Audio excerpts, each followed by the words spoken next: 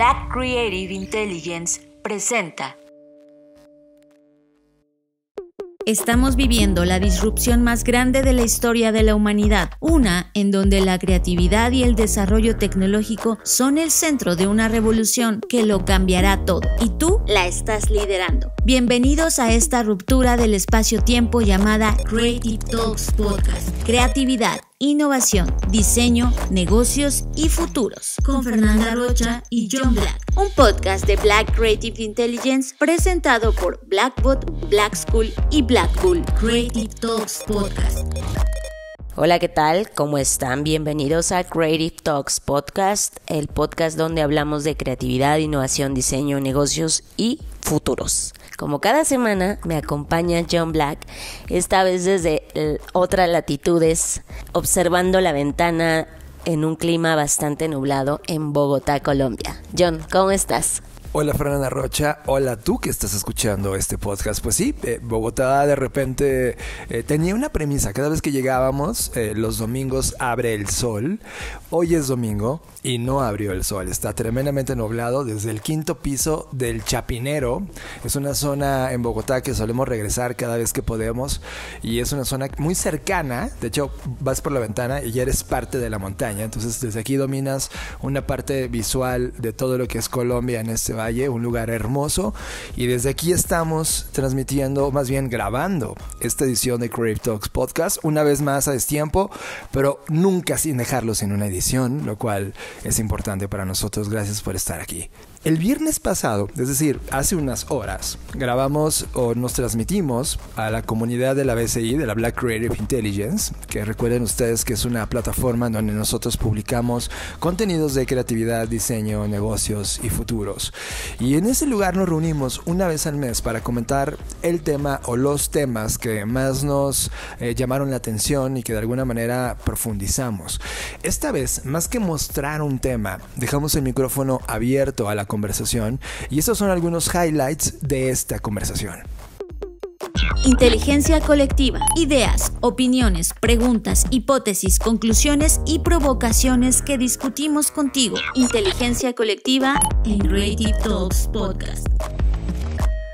El impacto sociocultural que esto va a provocar es algo para lo que el ser humano no está preparado. Es verdad que la IA es la primera herramienta que puede crear sus propias herramientas. Y por supuesto que eso nos aterra porque nos hace poner en la mesa algo que es ilusorio, pero de lo cual hemos estado convencidos los últimos años y es el control que tenemos. El fenómeno de la IA, el potencial que tiene la IA en todas las divisiones de actividad humana es real, absolutamente real. Pero la razón por la cual la IA no había llegado a niveles comerciales es porque todos los ejercicios anteriores a la IA terminaban tremendamente mal. Claro que entiendo el maldito miedo que tenemos todos al ver la capacidad del Estado Atari que nos está presentando este momento tecnológico de la IA. El tema es que no hay regulación, no hay transparencia de quién está haciendo qué y con qué se armó cada una de esas cosas, pero lo que necesitamos hacer es dar un paso atrás. La conversación de gente como nosotros debería ser esta capacidad de síntesis, de entender lo que está ocurriendo como un fenómeno en donde no no solo afecta a los creativos, afecta a todo tipo de actividad humana, política, social, económica, cultural, por supuesto artística, y tratar de entender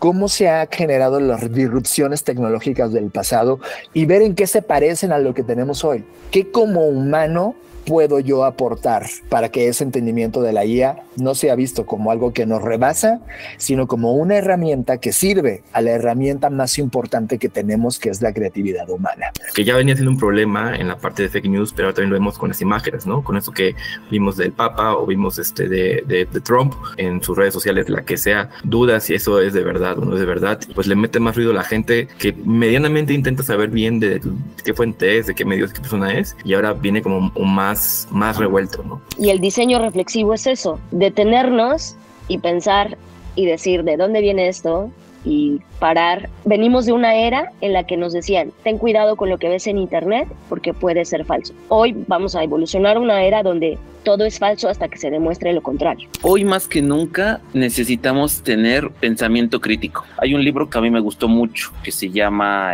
Deep Work, Trabajo Profundo de Carl Newport, que una de sus premisas que maneja es este, elimina tus redes sociales, ¿no? Y te dice que cuando surgen nuevas herramientas tecnológicas, todo el mundo lo quiere usar. Surge el martillo, automáticamente todo lo ves como un clavo, ¿no? Analiza bien en qué sí se puede ocupar y qué no. Sí, estamos frente a la herramienta más importante a una dimensión inclusive superior a Internet de los últimos 50 años. Sí, sí estamos. Eso es un hecho. La IA se va a convertir en un antes y después de la humanidad. Debemos conversar cómo vamos a usar, a usar esto para llevarlo a un escenario donde la humanidad sí se vea beneficiada. ¿A qué nos va a llevar como humanidad?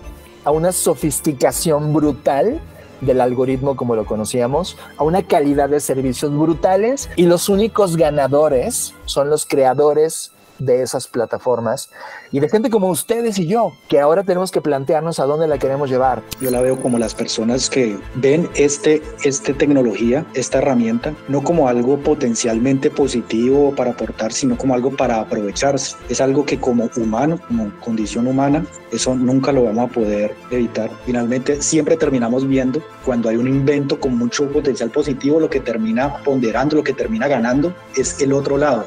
Lo que nos da miedo de la IA ya. Es que nosotros la creamos y, sabemos de qué somos capaces. Yo sí creo que la inteligencia artificial sí es diferente a todos los otros hypes. Creo que la inteligencia artificial es la primera que estemos conscientes o no, la primera que ha cumplido y ha sobrepasado las promesas. Sí es la primera que no solo cumplió, sino que rebasó, porque hasta los que estamos metidos pensábamos que lo que está pasando ahorita le faltaban 5 o 10 años. Creo que el riesgo más grande y lo que las personas están preocupadas ya no es Skynet, o sea, no es la inteligencia artificial soltando bombas atómicas, es que de un tiempo para acá, en un periodo de la historia, el hombre se definió por su trabajo. Y entonces las cosas que tú haces es lo que te definen y es lo que rige como el, la razón de casi de existir. Y creo que ese es el miedo más grande. O sea, no tanto como que sean dominados, sino que se vuelvan como o que nos volvamos obsoletos y ya no tengamos sentido. Creo que el entrenamiento es, es la parte clave de todas estas herramientas.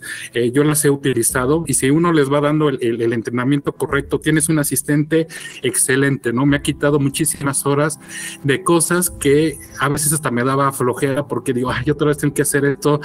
Ya tenía ciertas rutinas automáticas para hacer ciertas cosas y digo, ah, qué bueno, ahora voy a utilizar esta parte. Entonces creo que si lo vas entrenando de la manera correcta, es, es, es fascinante. No hay adopción de la tecnología correcta. Y es donde ahí podemos empezar a hacer un mal uso de las cosas.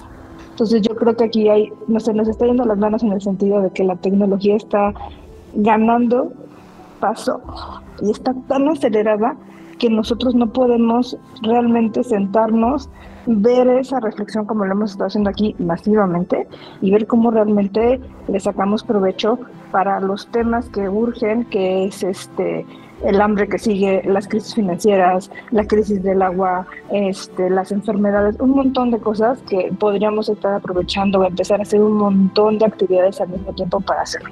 Clientes me han contratado, ¿no? Es como que, oye, edítame este video que parezca hecho por inteligencia artificial para yo venderlo en foros de inteligencia. Y es como que ya, o sea, estamos ya utilizando esa, esa información con, a nuestro favor, sí, pero sin considerar que cómo nos puede ser realmente útil. ¿No? Es como, no quiero, no, no voy a intentar replicar la inteligencia artificial. Quiero que la inteligencia artificial me ayude a mejorar el, el trabajo que estoy haciendo, ¿no? Porque exactamente, la inteligencia artificial está en todo, en todas partes al mismo tiempo. Toda herramienta, toda tecnología es una herramienta. Somos los mismos, somos los mismos con diferente tecnología, ¿no? Estamos viendo un momento primitivo grabado a través de medios digitales, ¿no? ¿Qué vamos a hacer para convertirnos nosotros mismos en la tecnología que nos, nos empuje culturalmente a cerrar estas brechas y a convertirnos en oportunidades y en un hype cultural humano, ¿no?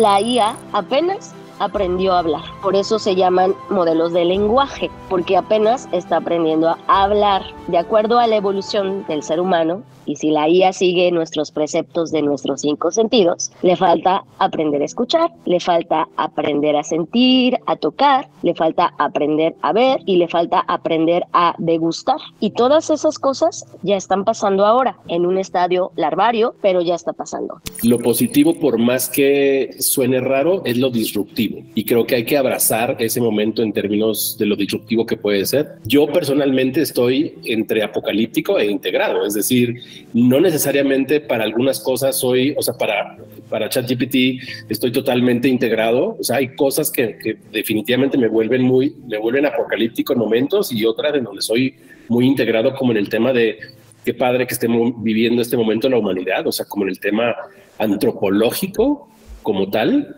O sea, creo que siempre tenemos que ver hacia allá pero creo que lo que no debemos de perder de vista en este sentido de ser apocalíptico o integrado es en que el hombre debe estar al centro. El hombre debe estar al centro y las conversaciones no deben de ser sobre la herramienta, sino cómo la herramienta, lo que la herramienta puede hacer por el hombre. Pues nosotros hemos creado la tecnología, ya lo hemos hablado mucho, nosotros moldeamos a la tecnología y la tecnología nos moldea a nosotros. Eh, de cierta manera, evidentemente todos lo hemos dicho, hay brechas, hay que también saber ser consciente en que eh, la tecnología nunca y no sé si algún momento va a estar democratizada.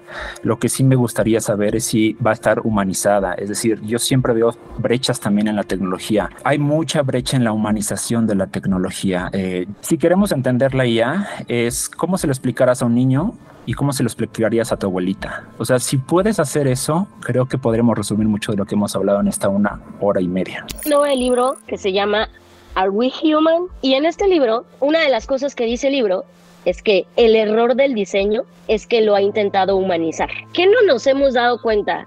Que al humanizar las cosas, las herramientas que hemos creado, lo que está pasando es que exponencian los sesgos particularmente negativos en términos de hacernos daño a nosotros mismos. Y me parece una provocación brutal y le agradezco que haya llegado en este momento a mi vida. Y lo que él dice es, debería ser más deshumanizado en el sentido de más emulando otras cosas en la naturaleza, etcétera, que no poseen los sesgos humanos. Algo que logró eh, maquiavélicamente OpenAI es, creo yo, disfrazarse de vengo a democratizar y a compartirles esto, pero en realidad fue como vengo a aprender de ustedes, ¿no? O sea, sí utilícela y jueguen y hagan sus cosillas, pero quiero aprender más para ir más rápido. O sea, el problema que tenemos es que los seres humanos ya somos muy máquinas en muchas cosas. Entonces, en la medida que podamos hacer cosas opuestas a esto, quizás podemos como, no, tanto como competir, porque creo que no es el punto, pero creo que podemos como conservar esta parte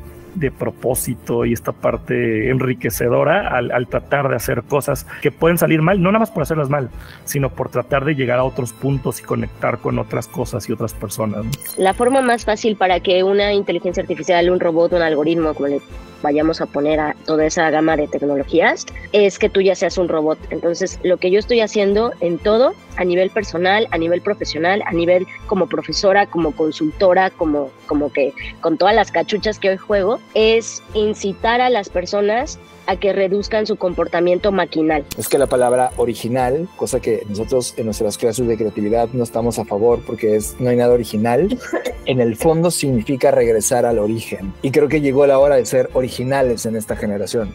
regresar al origen regresar a lo que hacíamos. Como dice Fer, eh, era un bar y platicábamos, o era alrededor de un fuego y nos sentábamos alrededor del fuego a contar las historias de las tribus que se reunían. Creo que esto que está pasando en una pantalla es mucho el origen. A mí me encantaría estar con ustedes en un bar ahora mismo, con su bebida, bebida favorita y reflexionando esto. Estoy seguro que hubiéramos llegado a un estado de éxtasis distinto al ser tan fríos a través de una pantalla.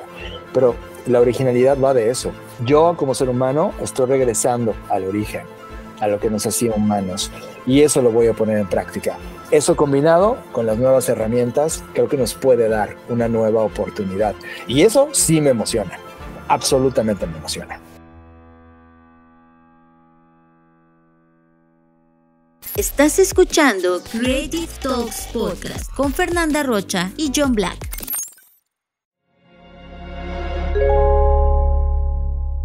Querido futuro es un diálogo con el futuro, sí, pero con el futuro no crean que el que viene en 300 años, no, con el futuro que está aquí ya muy cerquita y que me está retando todo el tiempo. Yo que soy Gabriela Marketing. que ya hay gente que te vende una línea celular de bovino inmortalizada. Ahora se utiliza inteligencia artificial para decidir qué candidatos vamos a entrevistar, qué candidatos no vamos a entrevistar. Así que en este podcast vamos a retarnos mutuamente. Yo le voy a hacer preguntas a ese futuro sobre tantas cosas que se están transformando frente a nuestros ojos y que a veces no nos detenemos tantito simplemente a entenderlas. Cómo funcionan estas sustancias y cómo podríamos a los trastornos mentales. Querido Futuro es un podcast producido por Radiopolis Podcast, en exclusiva para Podimo, la principal plataforma de podcast y audiolibros en español. Los espero pronto. Querido Futuro, con Gabriela Barkentin.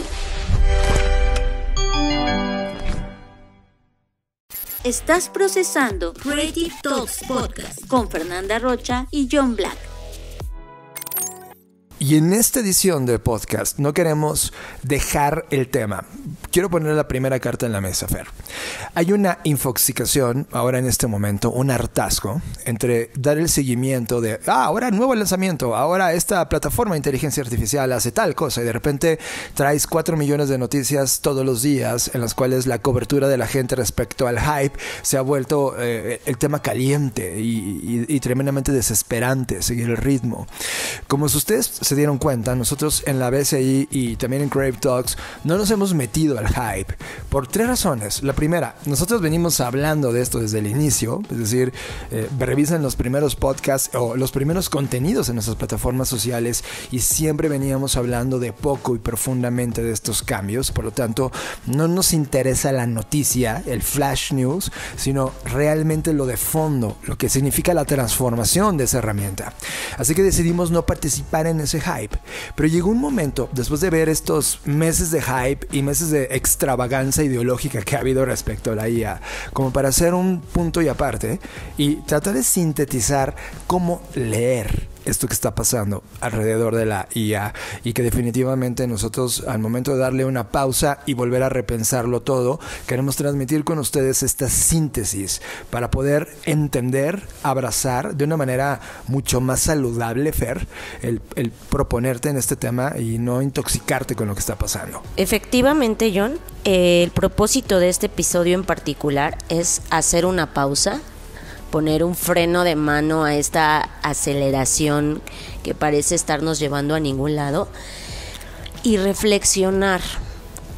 Creo que algo que esto nos está impidiendo hacer es parar y reflexionar. ¿Qué es lo que hay que reflexionar? Uno, como toda tecnología, no debemos enfocarnos en la herramienta per se o en las cien mil y millones de aplicaciones porque uno, como ser humano individual, no tienes cobertura. O sea, lo único que va a pasar es que vas a sentir FOMO, vas a sentir frustración, vas a sentir incertidumbre, vas a sentir un montón de emociones negativas que no te van a llevar a ningún lado. Dos, lo importante no es ese millón de herramientas que se están derivando de la inteligencia artificial o de ChatGPT. Lo importante, como toda tecnología, es el cambio sociocultural que esto puede provocar. En eso es en donde nos deberíamos concentrar, en las personas. Y cuando digo en las personas, tanto las personas detrás de la tecnología, porque ese es el primer campo de investigación que nos debería competir, y en segundo lugar, en las personas que van a sufrir este trans, esta transformación sociocultural, este cambio. No solamente en la pérdida de empleos, que ahí es donde se ha concentrado mucho de la desinformación y de la sobreinformación, sino qué representa esto para el ser humano. Porque hay algo que es verdad, y lo comentábamos en la reunión con, con la BCI, si es verdad, no estamos negando que esto es un hito en nuestra historia como humanos. Desde la invención de Internet, ¿no? Hay quien exagera y dice que desde la invención del fuego, no lo creo, pero sí creo que desde la invención de Internet no veíamos algo tan disruptivo y lo está haciendo no porque sea propiamente una tecnología disruptiva, sino porque está rompiendo de manera muy veloz el cómo nos comportamos. Y creo que ahí es donde debemos reflexionar por qué una compañía como OpenAI decidió en este momento abrir su plataforma para que millones de usuarios o personas lo usaran? Esa es la verdadera pregunta. Esto no es casualidad. Esto no es, ay, es que hasta ahora lograron avanzarla lo suficiente para exponerla a la audiencia y es, no, no, no, a ver, espérate. Y no se trata de generar teorías de conspiración, se trata de analizar a profundidad las propias palabras que Samuel Altman, que es el CEO de OpenAI, ha puesto en la mesa. O sea, no es como que nosotros vamos a inventar aquí una conversación. Absolutamente de acuerdo y aquí va la primera crítica. Y lo decíamos en la BCI.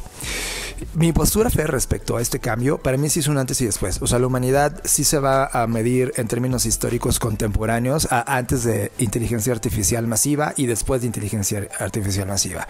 El, el tema es la distancia. O sea, si lo comparas con Internet en los noventas, llevaba dos décadas de desarrollo de Internet y nace como producto de una guerra. Recuerden la Guerra Fría y todo lo que eh, ocurre en esta eh, innovación gubernamental armamentística llamada DARPA y, crea el proyecto de ARPANET, que finalmente termina y deriva en esto llamado Internet comercial en los noventas.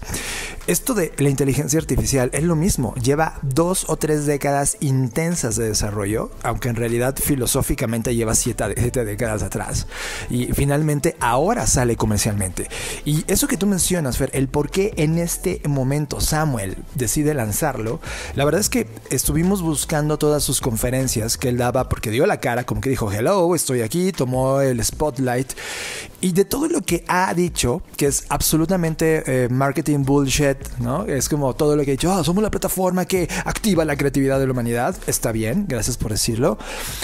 Pero hubo una entrevista de una eh, periodista en particular, que vamos a poner algunos fragmentos eh, ahorita, en donde finalmente hizo el trabajo crítico de presentar eh, dos preguntas de las 15 que planteó, tremendamente fascinantes.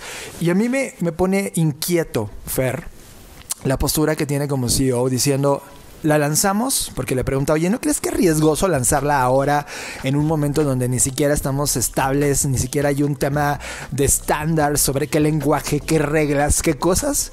Y él como CEO dice, bueno, es que lo lanzamos para tomar relevancia política, para llamar atención política. You've said AI will likely eliminate millions of jobs. It could increase racial bias, misinformation, create machines that are smarter than all of humanity combined, and other consequences so terrible we can't even imagine what they could be. Many people are going to ask, why on earth did you create this technology? Why, Sam? I think it can do the opposite of all of those things too. Properly done, it is going to eliminate a lot of current jobs. That's true. We can make much better ones. Is the government prepared for this? They are beginning to really pay attention, which I think is great. And I think this is another reason that's important to put these technologies out into the world. We really need the government's attention. We really need thoughtful policy here, and that takes a while to do. If government could do one thing right now to protect people and protect from the downside of this technology, what should they do? The main thing I would like to see the government do today is really come up to speed quickly on understanding what's happening, get insight into the top efforts, where our capabilities are, what we're doing. Uh, and I think that could start right now. It'll Are take you speaking to the government? Oh, yes. Or you're in regular contact? regular contact. Y lo subrayo, ¿eh? Este tema de tomar atención política, recuerden que tecnológicamente hablando, el momento más icónico de atención política que tuvo la industria de tecnología fue cuando Facebook provoca este, este, este cambio de opinión y finalmente acto de voto a favor de Trump con, las elecciones de, de, analítica de, Cambridge, Analytica. Y entonces eh, en ese momento todo el mundo dijo, sí, hay que voltear a ver a Facebook. Claro, casi llevabas dos décadas sin voltearlo a ver, es decir, toda la, la facción política había ignorado el poder de la tecnología. Pues esto es un acto idéntico. Si bien no hay en este momento unas elecciones, pero las va a haber, esto sin duda pone en un warning. Yo ahorita pondría el foco rojo, Fer, respecto a lo que significan estas palabras de decisión política porque vienen elecciones en Estados Unidos y sin duda esta va a ser un arma específicamente creativa y de ojo, absoluta manipulación masiva de medios, contenidos. Ya vimos las imágenes del Papa, ya vimos las imágenes de Trump siendo, siendo arrestado, que el mundo eh, se, se, debatía entre esto era real o falso. Imagínense esto llevado a otro nivel. Eso es el primer warning. El segundo warning que a mí me parece como muy brutal es que esta misma periodista le pregunta, oye, y háblame de la regulación. Es como tú te lanzas en un punto donde no hay regulaciones, ¿estás trabajando en las regulaciones? Y la respuesta de él fue todavía más peligrosa. Eh, la sociedad lo va a regular. What I hope instead is that we successively develop more and more powerful systems that we can all use in different ways that get integrated into our daily lives, into the economy, and, and become an amplifier of human will. What we're training these models to do is something closer to what we want them to do is something closer to the ability to reason, not to memorize. Society, I think, has a limited amount of time to figure out how to react to that, how to regulate that, how to how to handle it. And who should be defining those guardrails for society? Society should. One, society as a whole, how are we going to do that? If you had representatives from major world governments, uh, you know, trusted international institutions come together and write a governing document. You know, here is what the system should do. Here's what the system shouldn't do. Here's you know very dangerous things that the system should never touch, even in a mode where it's creatively exploring. Um, and then developers of language models like us use that as the governing document. Fucking shit, man. Eso, significa que es, oye, acabo de crear un arma que no entiendo, saberlo así, una herramienta, un utensilio que no entiendo, que lo voy a exprimir lo máximo comercialmente cuando la compañía fue fundada sin fines comerciales. Es como, primera, es, es un tipo que, que, que, nos ha engañado a todos, junto con todos sus socios. Y, y, en esto explícitamente dice, pues mira, de regulación no estoy trabajando nada, esto lo va a regular la sociedad. ¿Y sabes cuándo lo va a regular la sociedad, Fer? En dos décadas. Cuando entendamos el efecto en negativo, cuando ya hayan ocurrido errores masivos que en este momento la IA va, va, va a enfrentar, Fer. Y esas dos cosas me ponen foco rojo. Para mí, más que eso que mencionas, el hecho de que él diga que la sociedad lo va a regular significa al cliente lo que pida. O sea, significa que si la sociedad lo empieza a usar para lo que sea, cualquier cosa, va a decir, pues miren, no soy yo, no es mi herramienta, la gente lo está usando para desinformar y pues ni modo, así es, ¿no? Y eso lo deslinda de toda responsabilidad que se le pudiera eh, asignar, ¿no? O que se le pudiese exigir. Y creo que desde ahora está quedando claro que no le interesa eh, poner una herramienta creativa en manos de la humanidad. Lo que le interesa, ya lo dijo, es llamar la atención políticamente. Básicamente, este lanzamiento fue un pitch a los gobiernos de miren, aquí estamos y esto es lo que podemos hacer. O sea, básicamente es eso. Y solo quiero interrumpirte con una cosa.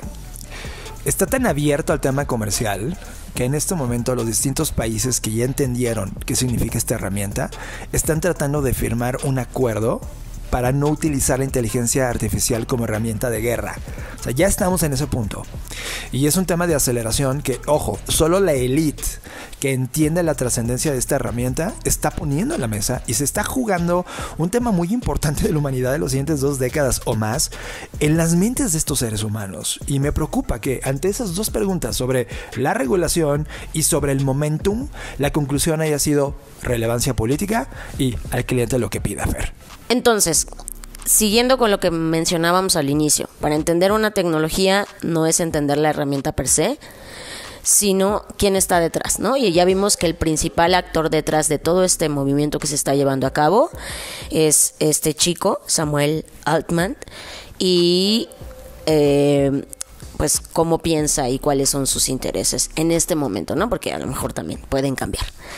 Ahora, del otro lado, de lo que está pasando con las personas y con el resto de compañías, porque si bien OpenAI está liderando, pues al liberar esto en su en el API o en los plugins que ahora se pueden conectar e instalar prácticamente con cualquier otra herramienta tecnológica, pues eso también empieza a provocar diferentes cosas, ¿no? Por un lado, bajo la falsa promesa de la productividad, y digo la falsa promesa porque estamos ahorita entrando a un momento donde la gente no está siendo más productiva, sino está invirtiendo al contrario muchas horas más en aprender. Pero eso es normal, es natural en cualquier introducción de herramienta. El tema es que la gente, muchas personas, están asustadas porque la información mediática está girando en torno a noticias clickbaiteras, es decir, estas noticias que solo generan clickbait, donde la inteligencia artificial va a quitar millones de empleos. La inteligencia artificial, este, es más, una noticia en particular, ¿no? Sobre esta carta que firmaron más de mil personas involucradas en la tecnología, donde resaltaban nombres como Elon Musk, Steve Wozniak, etc. Ahora, creo que esa es la segunda parte en lo que tenemos que poner atención. Y yo lo mencionaba en algún post en los últimos días en mis redes sociales. Estamos migrando de una era en la que te decían, ten cuidado con lo que hay en Internet, porque puede que algo de eso sea falso. Hoy creo que la premisa es todo es falso hasta que se demuestre lo contrario, porque al final del día esto va a generar más desinformación, más fake news, porque ahora cualquier persona tiene estas herramientas que antes se necesitaba como siempre han existido, ¿no? Pero hoy no necesitas tener un conocimiento técnico para modificar o para crear una imagen, etcétera. Entonces, hoy tenemos que partir de que todo lo que leamos en internet es falso hasta que se demuestre lo contrario. Incluso la información, no solo hablo de las imágenes del Papa y todo esto que ya pasó, sino, por ejemplo, esta carta en particular que muchos, eh, es que me impacta la cantidad de medios y medios relevantes. Estoy hablando de la BBC, de Guardian, o sea, no estoy hablando de, de medios que no son relevantes tomando la, la, noticia y diciendo, estos más de mil personas están eh, firmando esta carta para que se detenga seis meses eh, la inteligencia artificial o el avance y el desarrollo de inteligencia artificial. Y es, en primer lugar, ¿de qué va a servir que se pare seis meses? O sea, si es, todo esto es cierto, ¿de qué va a servir? ¿No? Y ahí es donde debería entrar nuestro pensamiento crítico y decir, a ver, ¿de dónde viene esta noticia?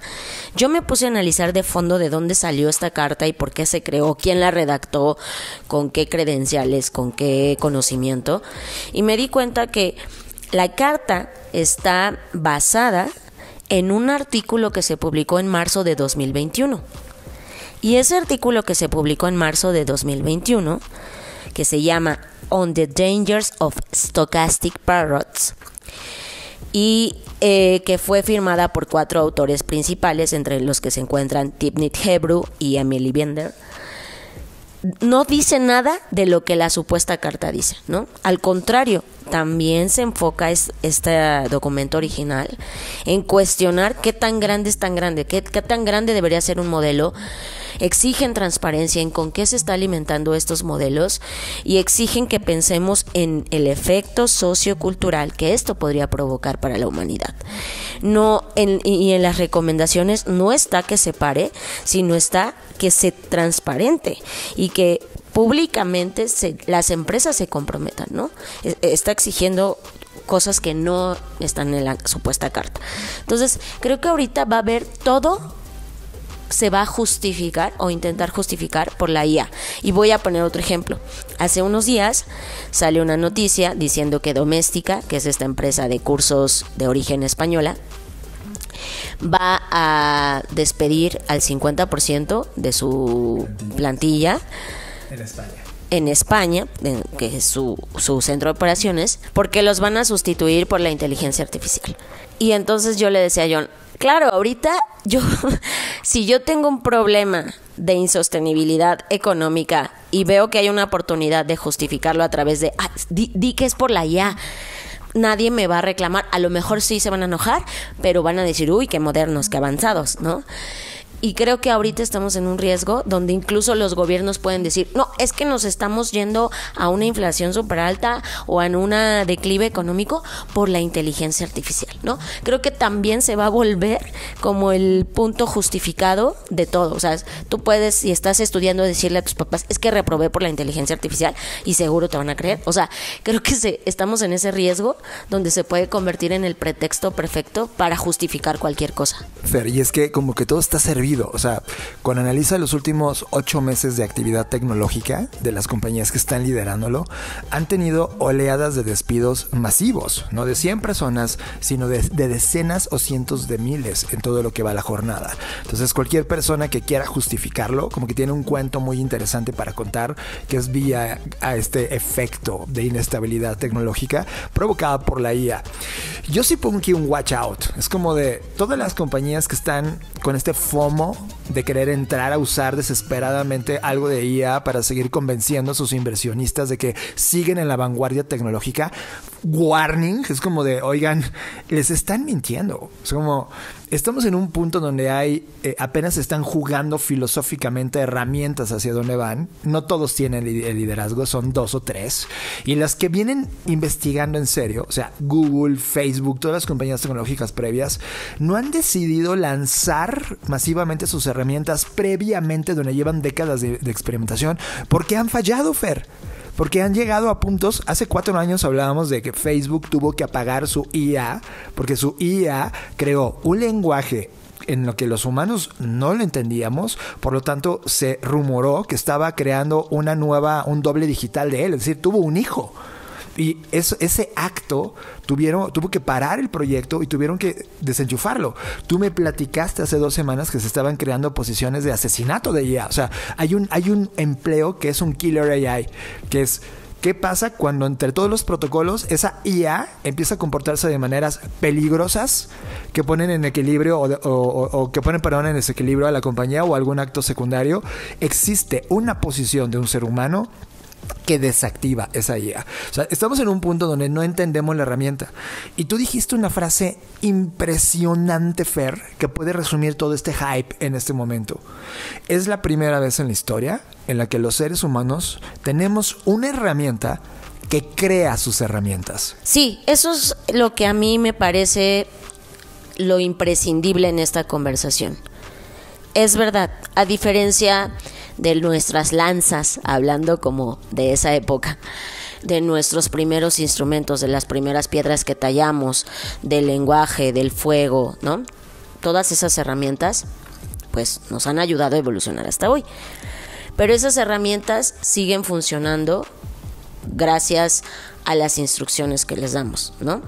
Si podemos controlar el fuego, podemos controlar, o sea, todas las herramientas tenemos control sobre ellas.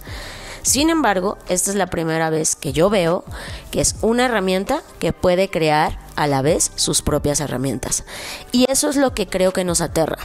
Para mí el miedo que tenemos en el fondo, y es muy filosófico, es que sabemos que la IA tiene nuestros sesgos. Y eso nos aterra porque sabemos de qué somos capaces, ¿no? Entonces, darle el poder humano a una tecnología, pues eso es lo que nos tiene como de nos va a destruir, nos va a asesinar, porque como nosotros actuamos de esa manera, pues estamos seguros o pensamos que la inteligencia artificial podría tomar esa posición, ¿no? Y para mí es ilusorio, porque al final del día lo que la IA nos está demostrando es algo que siempre debimos haber tenido claro y es no tenemos el control de nada, pero nos hemos vendido y creado este mundo sin fricción y hemos evitado a toda costa la fricción, de tal manera que ahora que tenemos fricción gracias a este tema, pues estamos aterrados. Más todas las fricciones que hay, ¿no? En la economía, en la política, el cambio climático, ¿no?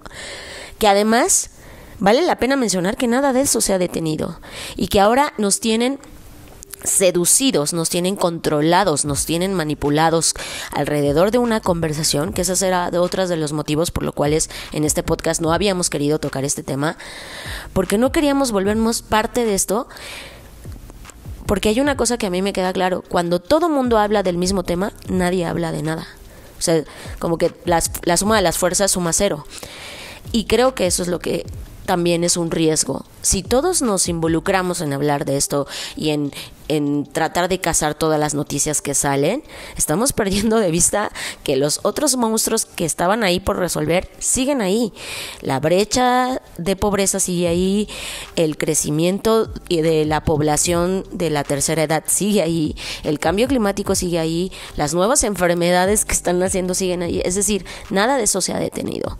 Y también creo que otro de los pecados que no debemos cometer es pensar que la inteligencia artificial va a resolver todos esos problemas. La inteligencia artificial no va a resolver nada si nosotros, como seres humanos, no ponemos foco en eso. Y si nos dejamos embaucar por esas conversaciones y si nos dejamos atrapar en esta gran red de medios y narrativa mediática, vamos a terminar desatendiendo lo realmente importante y cuando nos demos cuenta que no podíamos comer bits y bytes, entonces nos vamos a arrepentir. Qué brutal frase cerraste, Fer. Tú y yo decidimos cerrar las pantallas. Es decir, todas estas semanas hemos decidido salir al mundo, salir al mundo real, visitar ciudades que están entendiendo o no, discutiendo o no, incorporando o no estas herramientas tecnológicas. Y esta gran conclusión, en esta primera gran gira de múltiples países donde hemos estado parados y que está llegando a una fase de regresar de nuevo a la base, por esa razón eh, estábamos grabando ahora desde, desde Colombia en este momento, la gran conclusión allá afuera, el gran sentimiento es terror, miedo. Y es que en realidad no lo están viendo como una herramienta de creación, lo están viendo como una herramienta de sustitución. Y como el ser humano aprendió a, sustituir y a poseer en términos de dominio. Y como tú dices, Fer, esto tiene nuestros sesgos. Tenemos terror de que eso nos sustituya y nos posea. Porque el potencial es real. ese terror está totalmente fundamentado, es, es, verdad. Lo único que nos queda, Fer, para entender en, en la dimensión correcta el fenómeno, es que las revoluciones industriales anteriores tuvieron el mismo efecto. Las máquinas iban a quitar el trabajo a las personas que artesanalmente hacían cosas. Sí, sí lo hizo. Y hubo un gran problema. Y hubo un gran problema económico después. Y luego la gente que lo incorporó en las fábricas provocó a su vez nuevos empleos. Y luego una nueva economía humana. Yo creo que esto, Fer, no es una revolución industrial, es otra cosa.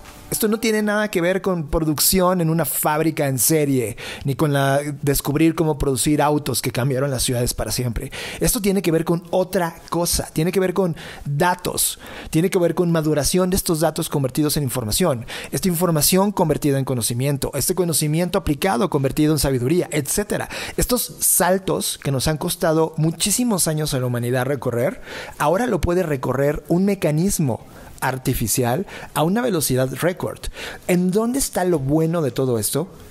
En parar, en observar el poder, el potencial, la explosividad de la herramienta y poner ese foco en la resolución de los problemas reales.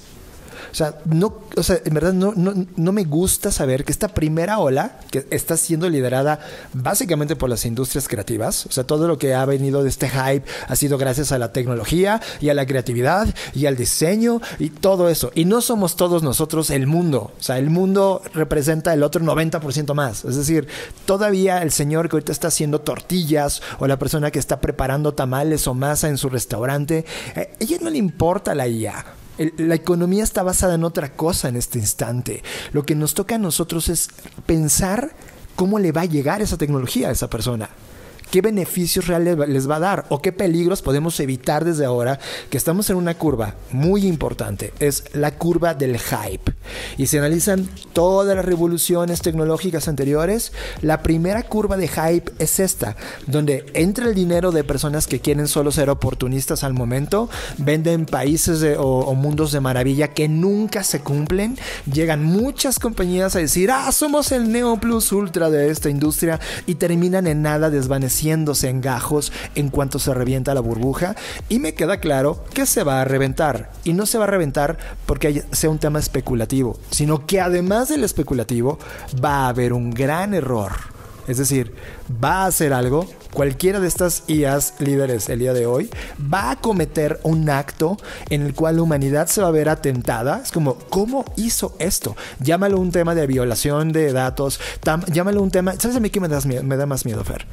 Imagínate que ocurre un algo, un contenido, un video falso creado en IA que llega a manos de un dictador tipo Rusia, en donde no entiende que esto es falso, y antes de preguntar si esto fue real, provoca un algo que tiene una devastación humana que puede cambiar la historia. Sí, por eso te decía, ni siquiera no es que lo entienda, a lo mejor sí lo entienda, pero dice, este es el pretexto perfecto para lanzar una bomba, ¿sabes? O sea, e-, ese es el riesgo inminente que hay. Para la gente que nos está escuchando, seguro la pregunta que les está rondando en la cabeza es, bueno, ¿y qué hacemos? Y es algo que concluimos en esta conversación con la BCI y quiero compartir con todos ustedes. Es, no hay mejor momento para aprender a aprender aprender a pensar y aprender a desaprender. Para mí, el mundo, ni siquiera del futuro, sino del futuro inmediato, no se trata de aprender cómo escribir prompts o qué prompts son los mejores. O sea, eso tú lo googleas y te vas a encontrar listados y listados y listados que ya lo hacen mejor que tú. En este momento, lo más importante y de cara al futuro va a ser aprender a aprender, aprender a pensar y aprender a desaprender, sin importar a qué te dediques actualmente. ¿Por qué esto es las habilidades desde mi perspectiva más importantes? Porque teniendo esas habilidades, porque sabiendo cómo aprender, vas a poder reflexionar y pensar cómo lo aplicas eso. Es más, la primera pregunta, si lo tienes que aplicar. Porque no es a fuerza usarlo, ¿saben? También está esta otra parte en donde no necesariamente o forzosamente te tienes que subir a esto ahora. O es más, no necesariamente te tendrías que subir a esto en algún momento de tu vida. Si analizamos la historia, hay muchas cosas que no han cambiado. Seguimos teniendo una persona que cocina, una persona que eh, no sé, que te prepara alimentos, que prepara café, que prepara bebidas alcohólicas. Es decir, hay un montón de cosas que no cambian a pesar de las grandes disrupciones tecnológicas. Y algo que nos debe quedar claro en nuestra cabeza es que nada desaparece al 100%. O sea, todas estas falsas predicciones o especulaciones que hay de eh, eh, X trabajo va a desaparecer, X cosa va a desaparecer, si lo analizamos, nunca termina desapareciendo. Hoy se siguen imprimiendo periódicos. Hoy sigue habiendo canales de televisión abierta cuando jurábamos que eso iba a morir, cuando jurábamos que eso iba a desaparecer. Claro, no son las mismas que en su apogeo, pero siguen estando ahí. Encontraron cabida, encontraron cómo evolucionar, encontraron cómo adaptarse, porque ese también es el ser humano. Creemos que el futuro es lineal y entonces como estamos en un punto A vamos a llegar a un punto B inevitablemente y no es así. Siempre reaccionamos de manera aleatoria, de manera distinta. Yo lo que propondría es dedícate a hacer aquellas cosas que la inteligencia artificial hoy no puede hacer. La inteligencia artificial no tiene intuición. La inteligencia artificial no tiene esta aleatoriedad que tenemos como seres humanos, donde se piensa que vas a hacer una cosa y de último momento algo se te mete en la cabeza y terminas haciendo otra.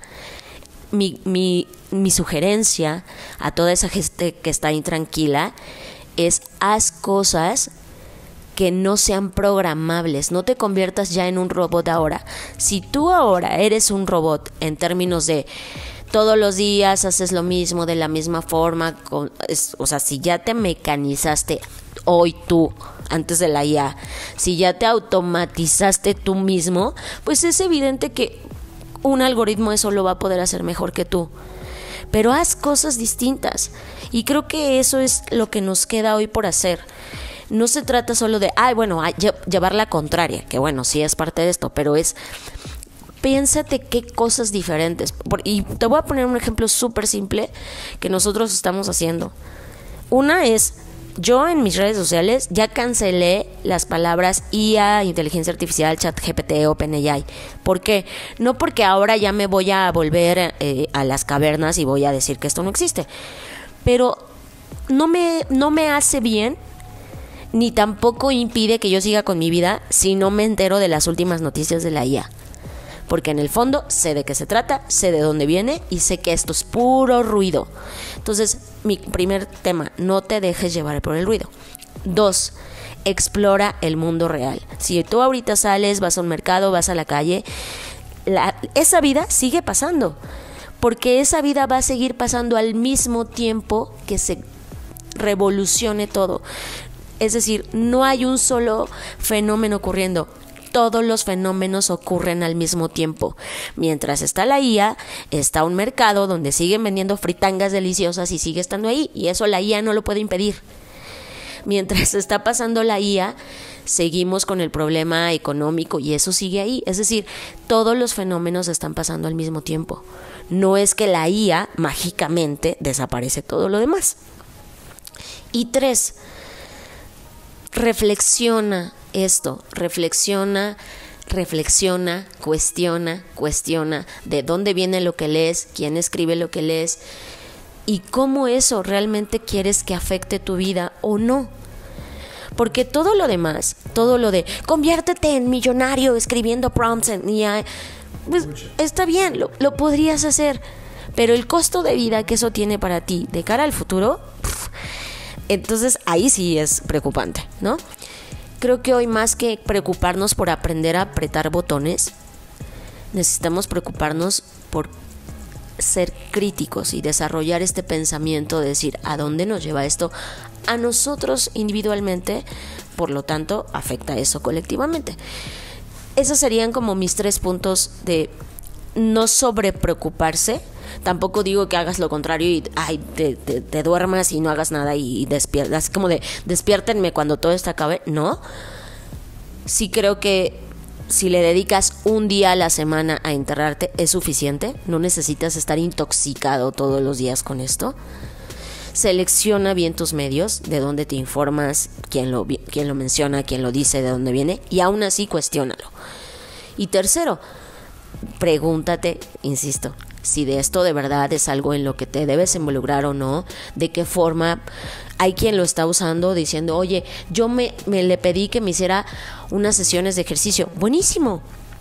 Y hay algo que dijo John en la reunión que me encantó, y es el mismo tiempo que le dediques a la inteligencia artificial o a cualquier otro tema tecnológico, que sea al mismo tiempo que te dediques a ti para autoconocerte, explorarte y reflexionar sobre ti.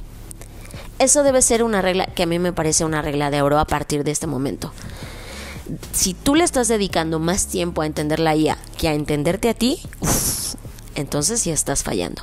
Me encanta cómo lo pusiste, Fer. Yo, yo pondría como de las cosas que sí estoy haciendo, y espero sean útiles para ti. En el aprender a aprender, se trata de descartar. O sea, sí, claro, hay un universo nuevo de cosas nuevas, pero de ese universo de cosas nuevas, descarta. No necesariamente tienes que convertirte en un técnico o un ingeniero en prompts. ¿Cuánto va a durar eso? ¿Quién sabe? ¿Te apasiona? No, solo lo estoy haciendo porque es lo que dice que el mundo tengo que hacer. No, hazlo por descarte. Haz y toma las cosas que nutren lo que tú sí quieres hacer. En el aprender a pensar, esto es más lo más importante. Imaginar sigue siendo la parte más importante de la humanidad. Este tipo de herramientas nos va a permitir imaginar cosas y materializar cosas más rápido. Antes, imagínate alguien que escribe una historia que termina en cine. Tenía que agarrar y pasar meses escribiendo y luego dibujando todo lo que hay para llegar a un estudio de cine y decir, miren, he invertido ocho meses de mi vida y cerca de 15 mil dólares o más para poder hacer este storyboard y es una historia que quiero hacer con ustedes. Y hoy, ¿qué crees? Lo puedes hacer en una semana. O sea, ese potencial de la herramienta que te da para imaginar y materializar me parece brutal. Pero hay algo importante, John, y qué bueno que mencionas este ejemplo. Sí, el proceso de mm, tangibilizar la idea sí te va a llevar un mes, un día, lo que quieras. Pero el proceso de atrás, el proceso de haber olido, estado en las calles, imaginándote las escenas, eh, en qué tipo de personajes ibas a desarrollar, en qué tipo de contextos se iban a mover, eso sigue siendo algo que toma tiempo y que va a seguir tomando tiempo si es que queremos seguir teniendo historias ricas. Claro que si nos volvamos a volcar a un mundo de historias automatizadas, bueno, ya te quiero contar qué va a pasar. Pero creo que no debemos perder de vista que el que crea hoy historias, un cineasta, un guionista, va a seguir teniendo ese proceso previo y espero, cruzo los dedos, que siga pasando. Y es que ahí es donde digo que no viene la sustitución. Claro que hay una sustitución de tiempo. Y sí, en ese camino una sustitución de personas, porque toda la gente que utilizabas para dibujar esas escenas, pues ahora de repente una herramienta de pago de IA la sustituye, pero le da valor y tiempo al seguir profundizando en la calidad de las historias. Es decir, el creador de la historia misma va a tener más tiempo de salir al mundo real y de traerse toda esa emocionalidad a la historia plasmada. Que ahí es donde yo veo el riesgo. Lo que pasa es que cuando tenemos tiempo libre, cualquiera que este sea un minuto, un día, una hora, una semana, un mes, en lugar de considerarlo como tiempo ganado, lo que está pasando alrededor de nosotros nos hace decir, usa ese tiempo en algo, usa ese tiempo en algo productivo. Y en lugar de liberarnos, nos esclavizamos más. Por eso es importante ser conscientes de eso. Es, si vas a tener tiempo libre porque te ahorraste cinco minutos, porque en lugar de hacer un correo lo hizo la IA, esos cinco minutos no los llenes con otras cosas de productividad, lo pongo entre comillas no te esclavices. Si estás ganando tiempo, aunque sea cinco minutos, por eso es importante este equilibrio. Si ganas tiempo gracias a la IA, dedícatelo a ti, no lo dediques a alimentar más a la IA o a la tecnología. Eso es lo que debe ocurrir. Porque lo que he visto es que la gente que se está ahorrando tiempo, ahora, no, antes tenía ocho juntas, ahora tengo 40. Y es, o, o sea, dude, eso no te va a aguantar, tu cuerpo no te va a aguantar. La tecnología es exponencial, pero tu cuerpo no lo es. Y eso es algo que debemos reflexionar. Lo cual me lleva a esta frase. La herramienta que incorporas, si bien va a incrementar tu habilidad técnica, nunca debes sustituir a tu experiencia humana. Y pareciera hoy que todo lo técnico y todo lo productivo y todo lo que necesitas generar en la economía, porque la economía sí te lo demanda, ya te rebasó, ya nos rebasó. Y necesitamos reclamar nuestra humanidad una vez más. Lo decía Tawada eh, en, la, en la BCI y nosotros ya lo veníamos repitiendo también. En este momento tenemos herramientas divinas con conciencias arcaicas y claro, al diseño del nuevo sistema económico que se está construyendo alrededor de la IA, le encantan las conciencias arcaicas. Y las conciencias arcaicas son aquellas que no privilegian la capacidad humana, sino el puro placer y entretenimiento humano. Y claro que sí pueden venderte ese placer y entretenimiento. Ve a tu Netflix, ve a los contenidos que estás comiéndote hoy. Es puro placer y entretenimiento. Este podcast no es placer ni entretenimiento. Este podcast es un taladro en el cerebro. Y por eso no es tan famoso como hablar de chistes eh, en, en la escena de podcasting. Ve el top 10 de las personas que están liderando en tu país esos contenidos, o en la tele, o en los medios. Es contenido fácil. El contenido que realmente privilegia tu capacidad humana es lo que tú debes de privilegiar ahora. Ahora, tercer punto del tuyo, Fer, aprender a desaprender. Para mí, creo que necesitamos mirarnos al espejo, al espejo y decir qué tan obsoletos somos en esa relación. Porque es lo que hay que construir. Mira, durante los últimos 20 años de mi vida y los casi 10 años que he caminado esos 20 contigo, Fer hemos hablado una y otra vez de lo importante de entender la obsolescencia que está provocando la división tecnológica. Primero con el Internet, que produjo todo un mecanismo de marketing digital, redes sociales, y no lo quisieron entender. Y ahora esta división, Fer, que venimos diciendo de, oigan, esto ya no es human to human, es human to machine. Y pese a que ellos ven y usan Uber y están usando los algoritmos para su día a día, siguen sin entender que el modelo de negocio ya cambió desde hace dos décadas y siguen abrazando la obsolescencia. ¿Sabes qué va a pasar con ellos? Van a morir siendo un cadáver viviente. Y esa cosa, me, esa cosa me, provoca tristeza porque a donde te pares, escuela a la que vayas, persona de negocios con la que platiques, siguen abrazando los contenidos obsoletos, las ideas obsoletas de un mundo que ya no es, ya no está siendo. Por lo tanto, este giro va a ser totalmente distinto. Tú lo dijiste, Fer. Somos la última generación más inteligente que las herramientas que usa. Y eso me parece fundamental. Sin duda, totalmente importante que tenerlo en la mente. Al final, Fer, y eso lo platicamos en la BCI. Cuando abrimos tanto Blackbot como este Creative Talks, como la BCI, la Black Creative Intelligence, o conocemos el FBS, o cualquier conferencia o clase que hacemos, seguimos defendiendo la creatividad humana. Porque al final, al final, el origen, y de ahí viene la palabra originalidad, regresar al origen, poner nuestra capacidad creativa al servicio de la humanidad, va a seguir siendo algo que no importa si tienes IA enfrente o la herramienta más divina tecnológicamente hablando del planeta, se va a necesitar esta capacidad creativa humana para resolver los problemas que enfrentamos como humanidad. Dos cosas, John, sobre esto que dijiste. Uno, la frase de somos la última generación que será más inteligente que sus máquinas, no la dije yo. Eh, lo afirmó George Siemens. Claro, yo la utilicé para referenciarlo, pero quiero dejarlo claro porque luego ya van a acusarme de que me estoy adjudicando frases. Uno.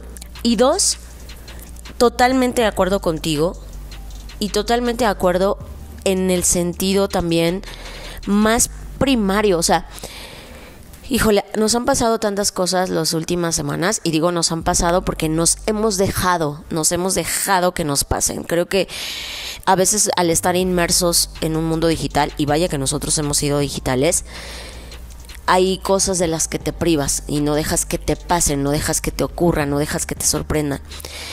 Y al haber estado expuestos estas semanas en diferentes contextos y diferentes países y evidentemente haber tenido el privilegio de hacerlo en este momento que es tan difícil para la humanidad, lo único que me deja reflexionar es que cuando vas a los museos y ves las pinturas y ves lo que ha ocurrido y ves dónde se generan los fenómenos y dónde se generan las resistencias y dónde se ha generado el cambio y dónde se ha generado el punto de inflexión que, que abre la puerta a la siguiente evolución, no ha sido con las herramientas. O sea, no ha sido gracias a las herramientas, no ha sido de, ah, ellos lograron hacer X cambio o X cosa o X revolución porque usaron esta tecnología que estaba en sus manos. No. Esos grandes cambios, esas grandes revoluciones, esas grandes resistencias se gestaron en donde se han gestado todos los cambios de la humanidad. En una taberna, en un lugar, en un bar, en un círculo, en una habitación, en una reunión donde había cuatro pelados, cinco personas, veinte personas, cuestionando lo que estaban viviendo en su tiempo. Ahí es donde se han generado las revoluciones, ahí es donde se han generado los cambios. Con una cerveza, con una bebida, escondidos bajo la flama, eh, ¿sabes? Ahí es donde se ha generado. Ningún cambio ha sido gracias o a través de una tecnología. Ha sido gracias a un grupo de seres humanos que se reunieron a hablar sobre esa tecnología y decir, a ver, ¿qué sigue para esto? ¿O por qué estamos haciendo esto? Y eso a mí me emociona, porque entonces, gracias a eso, nos podemos demostrar a nosotros mismos a través de esa historia, que claro, la historia tiene sus bemoles, porque ya sabemos que la historia quienes la cuentan, ¿no? Pero cuando rascas un poco más y te das cuenta como del, del de las vertientes de esa historia, te das cuenta que todas estas resistencias se generan gracias a personas que se sientan a reflexionar y cuestionar al respecto. Me encanta porque es una, como tú lo mencionas, Fer, ahora que hemos recorrido distintos lugares del mundo, así se gestan las cosas. Y eso me lleva a esta frase. Deja de entender al mundo a través de únicamente la maldita pantalla de computadora o teléfono móvil que tienes frente de ti. Eso no es el mundo. Eso es una síntesis de las personas afortunadas que usan esa pantalla y aún así están totalmente dirigidas por el algoritmo. Había un gran autor que se llama Giovanni Sartori, que a mí cuando lo leí, siendo muy joven, que hizo este libro que se llama El Homo Videns, hablaba del medio de comunicación más potente de ese momento, la televisión, y hablaba de una sociedad teledirigida. Pues ese planteamiento, que sí se cumplió además, y que ya Marshall McLuhan lo venía diciendo también, este momento ya no estamos teledirigidos, estamos algoritmidirigidos. Es decir, todos los, los contenidos que ves, oyes, tienes frente a ti por algoritmo, están totalmente planeados y diseñados para ti. Y necesitamos romper con eso. Eso me lleva a esto y quiero ser muy serio contigo. Hoy soy un ser humano de 41 años de edad. Me ha tocado ver, estudiar, estar, vivir y no gestar. Yo no he sido un gestador de esos movimientos, pero sí de los movimientos tecnológicos que han definido los últimos 30 años. Y he cometido el mismo error tres veces y no voy a cometerlo una vez más. Mi error fue este. Cuando conocí Internet, por primera vez, mi primera idea en la cabeza fue, wow, esto lo va a cambiar todo. El conocimiento hará libres a los hombres. No pasó. Segundo movimiento, redes sociales. ¡Wow! El movimiento de los 70s, Power to the People, finalmente se manifiesta en este Internet, en la segunda oportunidad de Internet para lograrlo. No sucedió. Y ahora nace la inteligencia artificial llevada al mundo comercial. ¡Wow! Esto puede crear... No va a pasar. Si les digo una, una apuesta es, no va a pasar. No desperdicien sus años y energía tratando de colocar algo que no va a pasar. Pero ojo, eso no significa que si entiendes la realidad, haya una oportunidad de que sí pueda pasar algo y que en ese mundo del algo puedas vivir una gran vida. Porque el de redes sociales ya no es. Los que hoy están hablando de, "Va, utiliza ahora social media para... Llevan 20 años de, de- de retraso. Trata de entender las nuevas herramientas. Trata de entender lo que sí va a pasar, siendo realistas. Y en ese mundo, en esa proyección, trata de entender qué cosas son, número uno, las que te afectan a ti y te hacen mejor ser humano. Y una vez que logres ser ese mejor humano, compártelo con las personas que te van rodeando. No al revés. No es, sí, ahora todo el mundo, todo el mundo va a cambiar. No va a cambiar. Cambia tú. Por eso mi postura de pon tu capacidad creativa al servicio de la humanidad me parece fundamental en estos momentos.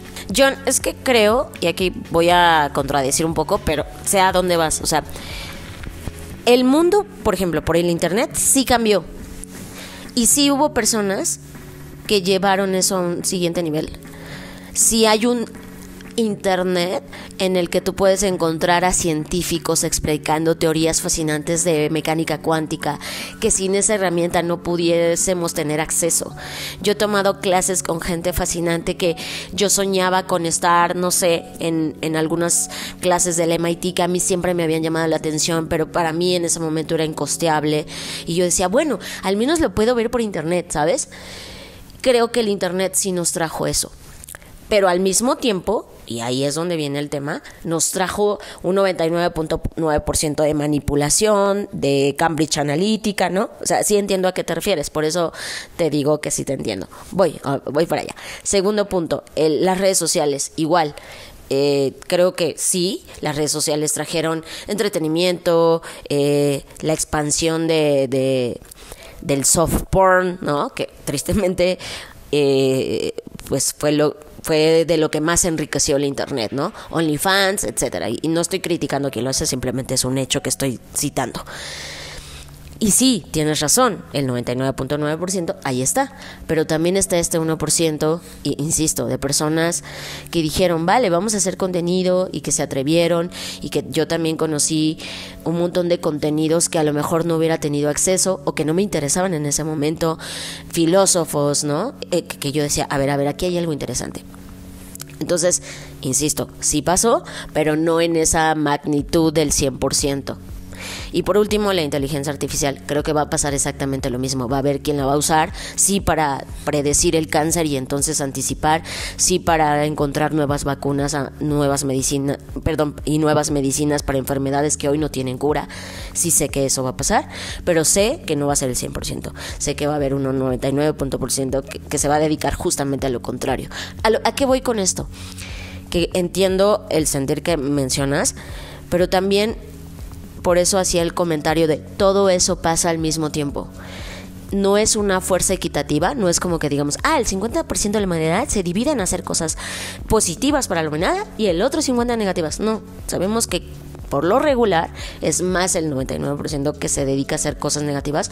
¿Por qué? Porque le interesa manipular a las personas para obtener y beneficiar sus propios intereses y lo único que ha hecho estos saltos de tecnología es abrir las brechas entre nosotros en desigualdad, eh, inequidad, injusticia, etcétera, etcétera, etcétera.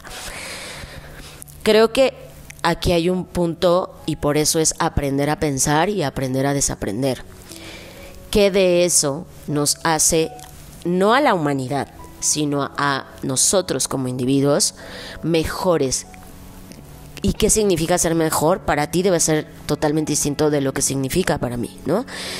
Y creo que al final del día, en lo que sí podemos coincidir es que ser mejores, estar más tranquilos. Eh, el otro día hablaba con alguien que me preguntaba, oye, Fer, ¿y tú qué buscas? ¿No? O sea, ¿cuál, ¿cuál es el fin que tienes ahorita en este momento? Y yo me di cuenta al verbalizarlo que no yo, Fernanda Rocha, en este momento, no estoy buscando ser feliz, no estoy buscando ser exitosa, lo que estoy buscando es estar tranquila.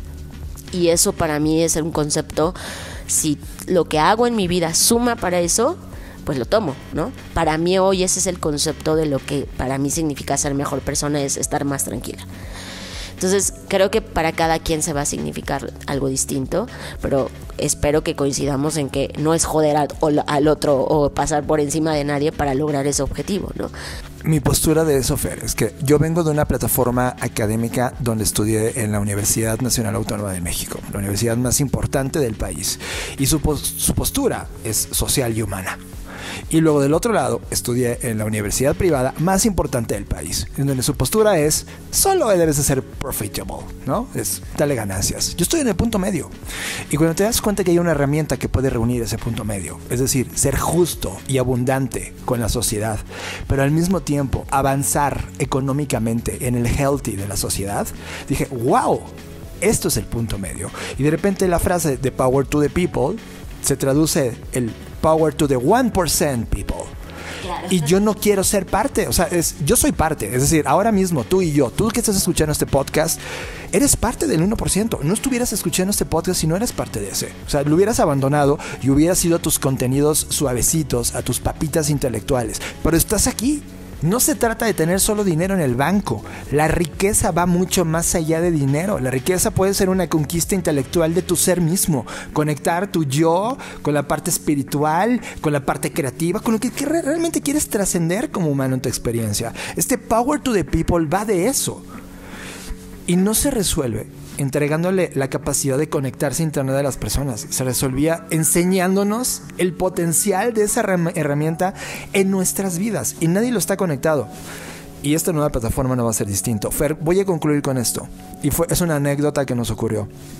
Estando en Cali, en un eh, pequeño local donde desayunamos, que además tienen una panadería artesanal impresionante, donde además están conectados con productores de café que entregan también los granos a esa panadería en particular y sirven unos desayunos espectaculares. Estamos platicando justamente con la gente de Icon, con Mauricio y con Pacho, sobre este, este tema de a dónde va la inteligencia artificial. Y después de estar debatiendo una hora y media o dos de esto y, y tirando ideas, justo al final, cuando nos despedimos, cuando nos abrazamos entre humanos y decimos, men, todo va a estar bien, se para una señora de más o menos unos 70, 80 años. Y empieza a gritar en medio del restaurante justo a la salida de la puerta, como para diciendo, hey, escúchenme. Que al final, la respuesta a todo esto y que al final quien nos iba a juzgar era solamente Dios y que tuviéramos la posibilidad de googlear a Dios y encontrar la verdad de verdad, esto que estamos diciendo no lo estamos inventando. Yo sé que suena como de no mamen, ¿cómo pasó esto? Les juro que fue gorgeous, fue precioso, fue. Es el mejor momento que he vivido en Cali. O sea, imagínense esto: cuatro personas discutiendo sobre inteligencia artificial, argumentando con diferentes puntos de vista porque no estábamos de acuerdo los cuatro y eso fue delicioso. Y esta persona, esta señora, estuvo al lado de nosotros durante toda esa conversación. En la mesa de al lado, ¿no? Y por lo visto, al final, pues ella escuchó todo lo que habíamos argumentado y su gran conclusión fue googleen a Dios me encantó. O sea, creo que eso resume nuestros tiempos y por eso les digo, todo está pasando al mismo tiempo. Mientras hubo un grupo de personas que estaban hablando sobre qué podría pasar con la inteligencia artificial, sus posibles efectos positivos y negativos, hubo una persona al mismo tiempo en esa conversación diciendo dos cosas increíbles. Googleen, o sea, no dijo, tomen aquí está la Biblia, no, no, no fue como antes que te daban, aquí está tu Biblia y léela, no, no, no, fue a ver, ya tienen internet, googleen a Dios. Googleen a Dios se me hace una frase que resume perfectamente lo que está pasando. Googlear es tecnología, Dios es pensamiento, idiosincrasia, bla, ¿no?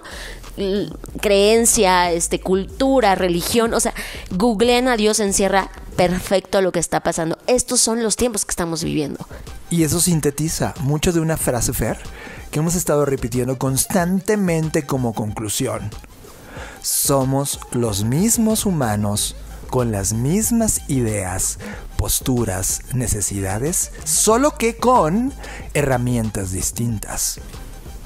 Piénsenlo. Para mí en lo personal me parece excepcional.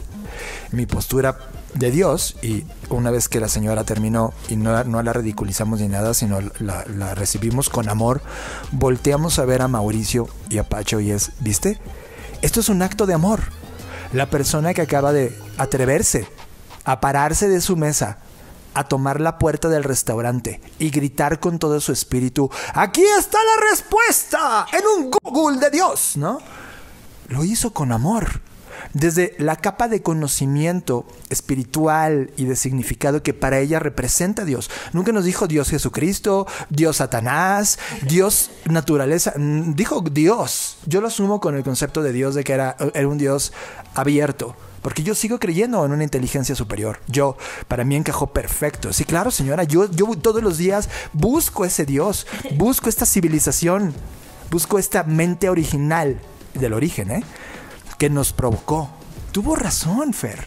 Y esa parte fue una luz en el camino diciendo, mira, men, al final del día se trata de trascendencia humana, sea cual sea la herramienta que tengamos de frente.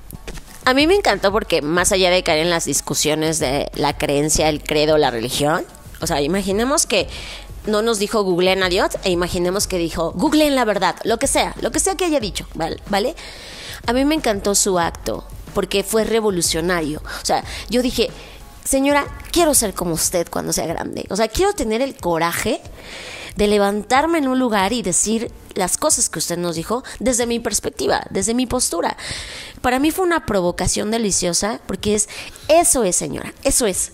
Eso es lo que tenemos que estar haciendo, tomar la palabra y exigir lo que sea que queramos que sea exigido.